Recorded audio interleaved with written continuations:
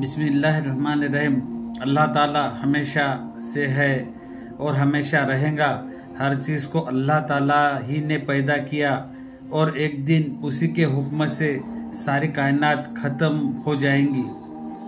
قرآن پاک میں اللہ تعالی فرماتا ہے کہ ہر چیز ختم ہو جائیں گی اور صرف آپ کے عزت و بزرگ والے رب کی ذات باقی رہیں گی۔ سورہ رحمان آیت چھبیس تا ستاویس۔ حضرت عبادہ بن سامت رضی اللہ تعالی عنہ بیان کرتے ہیں کہ رسول اللہ صلی اللہ علیہ وسلم نے فرمایا یعنی اس دنیا کی تمام چیزوں میں سب سے پہلے اللہ تعالیٰ نے قلم کو پیدا فرمایا اور اسے لکھنے کا حکم دیا تو اس نے عرض کیا، اے میرے رب، میں کیا لکھوں؟ اللہ تعالیٰ نے اسے قیامت تک کی پوری کائنات کی تقدیر لکھنے کا حکم دیا ابو داود۔